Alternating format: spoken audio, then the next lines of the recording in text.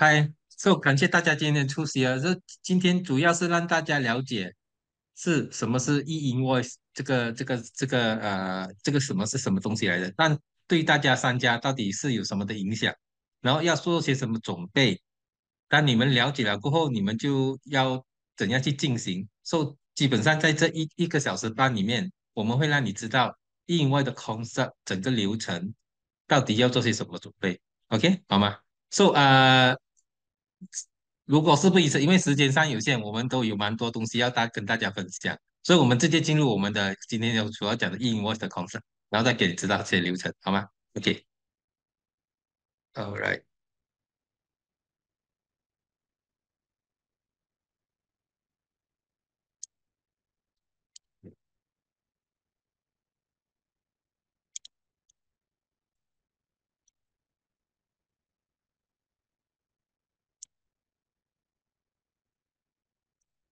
OK，大家看到的 screen 吗？应该清楚吧？OK，可以看到。All right，so 今天我们所要主讲的是马来西亚电子发票，就是 e-invoice 即将要来，即将要来临了。那么到底有什么变动？到底商家们要做些什么准备？OK。那么首先还没开始之前，我先介绍我自己。我本身我是我的名字叫 Simon An，是我我是在 KSU Enco 担任税务经理。所以基本上我我所处理的范围是关于公司的税务，关于公司税务的审计，也包括了 SST、SAT 的如何去处理，如何去啊呈报 SST，也包括了如果有一些 Tax Audit 的 case、SST Audit 的 case，我都会去处理。包括像如果有顾客问到关于 Income Tax 的 Advisory Consultant，我们都有呃给一家这些帮助这些服务。OK。就基本上我在这间公司已经超做超过了十五年，so 呃从之前的 GSC 时代，我到了现在，so 也看过了从 GSC 那个时代有什么变动，到今天的 e-invoice 接下来会有什么变动，我都会跟大家了解，OK。那么在还没开始之前，我想给你大家知道，基本上今天所跟跟大家分享的信息是根据。列入 Income Tax 在二零二四年二月九日公布的 E-invoice 的 guideline，说这个 guideline 已经去到了 Version 二点二版本。它有一个叫做呃 E-invoice guideline 的 Specific guideline，这个版本最 latest 的版本是在二月九号二零二四年。OK，说今天我们给大家分享的是根据最 latest 的版本。那当然它可能还会有变动，因为啊，关税 income tax 也会根据啊不同的啊商家们的意见在更改他们的所要求的东西。所以啊，接下来如果有任何变动，我相信希望你们如果这个 slide 有什么变动的话，你们要要先问清楚你们的 tax agent，还是你们先了解是不是已经是恐慌的，还是会有任何的变动才去才去进一步的啊进行。OK，那么。E-invoice 的概念之前我讲了，已经有了啊，等等啊，sorry，对不起啊，OK，这个是 E-invoice 的概念，从 Version 一点零、二点零、二点一去到二点二，OK，最新的是二月九号，所以大家都可以在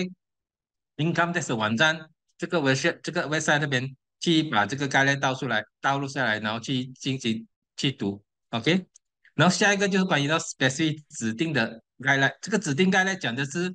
在一些指定的一些情况之下，transaction 到底 invoice 要怎么去处理。好的，OK，那么事不宜迟，我们先进入到底什么是 invoice。首先先会跟大家了解 invoice 到底是什么东西。OK，so 很多人会问，到底什么是 invoice？相信现在大家。我先跟大家了解一下，invoice 大家都知道，invoice 是因为你们要把货物卖给产顾客，或者把服务卖给顾客的时候，你们就会开 invoice 给顾客。然后当你去买货的时候，purchase 或者是 expense 消费的时候，你也会跟对方拿 invoice。然后拿到 invoice，你们会进把那个 invoice 的账目进入你们的系统，做那个 account 出来，对吗？现在的形式是 invoice。每一间公司，他们都有自己的，你们都有自己的 format，你们有放 logo 啊？有没有放 logo 啊？说每一家公司都有自己的 invoice format，然后有些可能是用手写的 handwriting，那有些时候，那那你们很多时候是你们把 invoice 好从 system 系统 generate 出来过后，你们就会 print 出来，然后可能就给老板签名，有些可能没有签名，那么过后就会交给顾客，又或者有些是直接在系统 generate PDF，然后就啊交给顾客。所以这个就是一般上现在我们现在你们用的 invoice，你们怎么 invoice 给你顾客的那个系统？OK？那么我们看回之前，之前啊，马来西亚曾经一段时间是啊有 GST，那 GST 时代也是曾经把 invoice 变成了 tax invoice。所以那时候呢，很多很多的商家如果是 GST 的 register person，你们都要更新系统去换那个 invoice 的 format。但是那个 GSD 过后呢，其实是现在变相中那个 cash invoice 已经不存在了，大家又变回了现在这个 method，又用手写单啊，用自己的 method 啊，自己的自己的形式去开单。OK，那么这个 invoice 到底是什么东西呢？OK，大家可能会讲啊，对对，是对商家们到底有什么影响？然后呃，几时会开始？那么是必须要注册？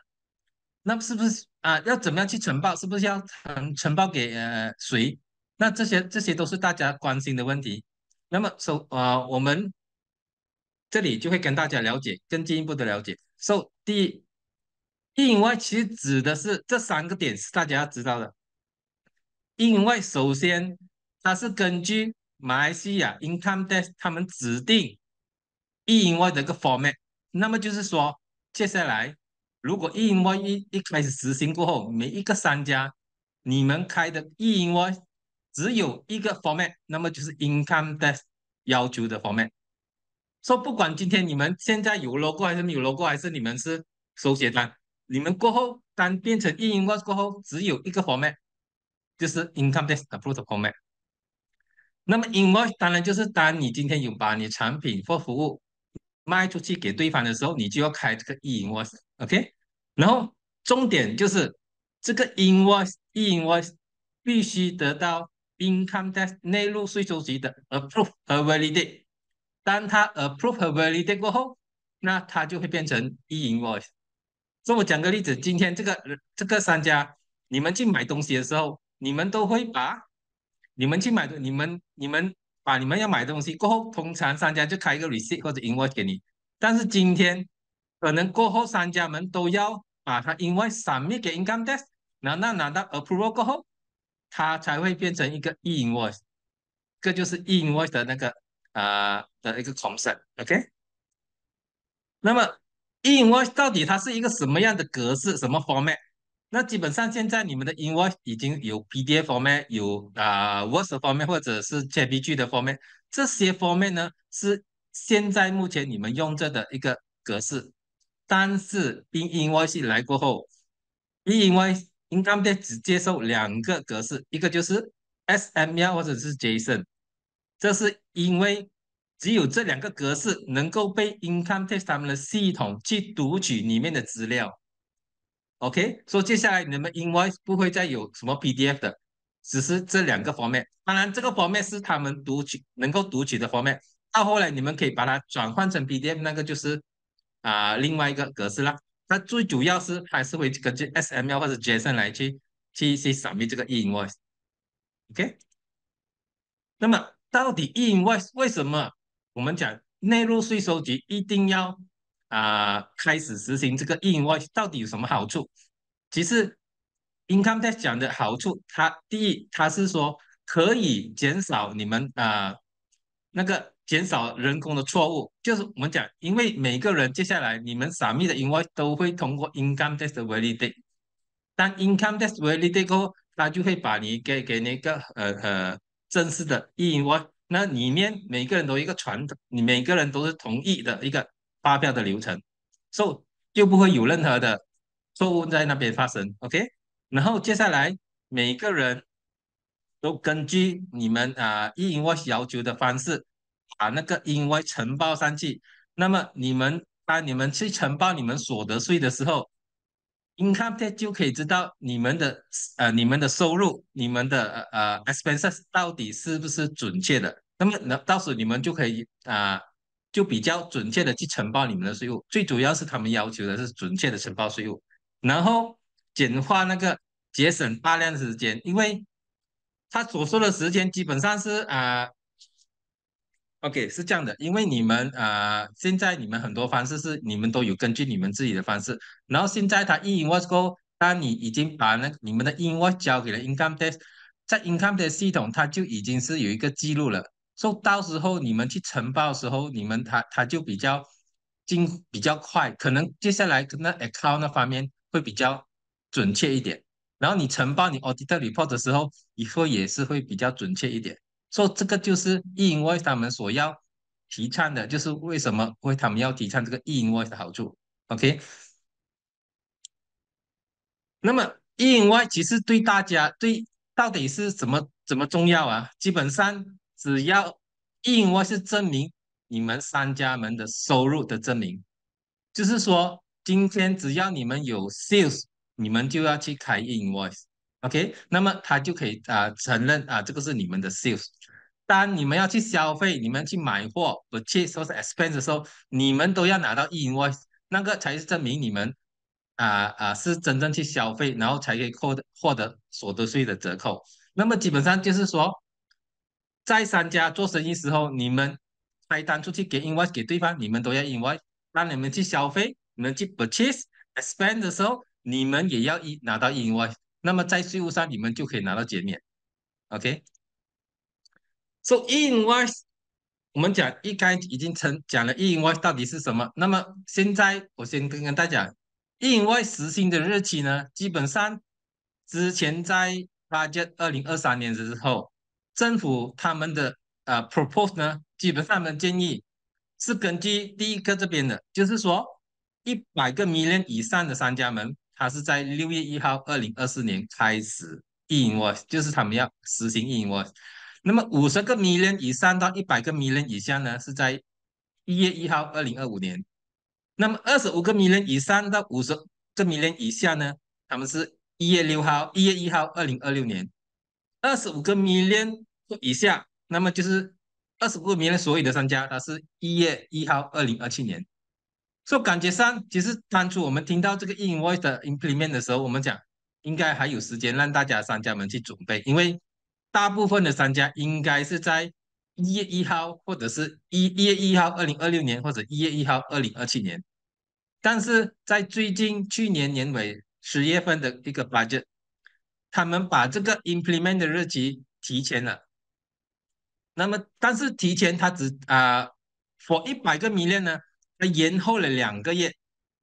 因为可能系统上现在还没有还还没有 ready，所以延后两个。但是 for 那些五十个 million 到啊一百个 million 以下，二十五个 million 以上就可以参加，这中间呢，你是在明年的一月一号，二零二五年开始要实行你们的 invoice，OK？那么二十五二十五个 million 以下的商家们，你的 sales 啊，基本上是七月一号，二零二五年，OK？那么我们怎样知道你是属于哪一个 category？你是根据哪一个？哪一年的 accounting period accounting 的 sales 去证明你是根据哪一个 phase 去要实行那个 invoice？那基本上啊，income tax 已经给了他的 guideline，就是你们必须根据，如果你们是省两百哈，你们一定有 auditor report，所以你根据你 YA 二零二二年的 auditor report 那个 sales，如果你你们去看回你们二零二二年的 auditor report 那个 sales，如果你们是再看回你们是属于哪一个？哪一个 category 啊？如果一些商家他是没有 auditor financial statement 的，例如 LLP，例如 supervisor partnership，这些商家们他们是没有 auditor report 的。那么根据什么他们去证明他们的 sales？就根据你们的 income tax submit 的 form 那个 sales 那个 figure。OK？如果一些商家可能他在讲他在二二零二年他曾经有啊他的 financial period 有变动。变变成了二零二年，它是超过十二个月的。那么怎么去证明它的 sales 是在哪一个 category？那么我们看这里 example，我们打个例子，如果今天你是你曾经你的呃你的 financial period 是七月一号二零二一年到六月三十号二零二二年，原本这十二个月是根据这个来去定义你的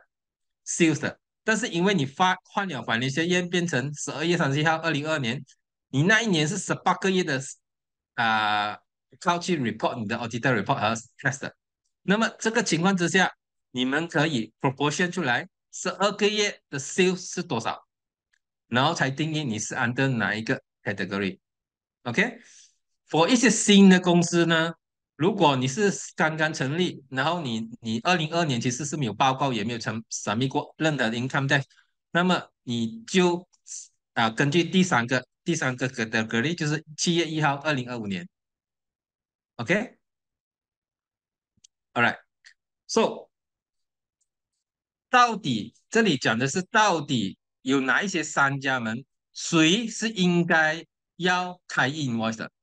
？so 根据 income tax 他们说的啊法令所啊他们写 list 到的这些人是一到十四，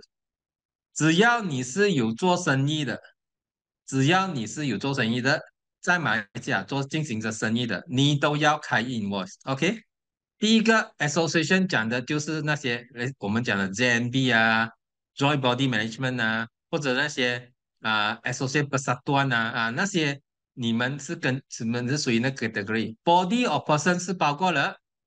啊，sole provider 啊，partnership 啊，company 啊，什么吧？那些是 body of person，branches 咯。i n s t r u c t r 这些人是 LP partnership，这些人是只要你们在马来西亚有进行做买卖，你们都要付，你们都要根据你们的那个哪一个 phase 哪一个阶段去进行去开始 invoice issue invoice 给你的顾客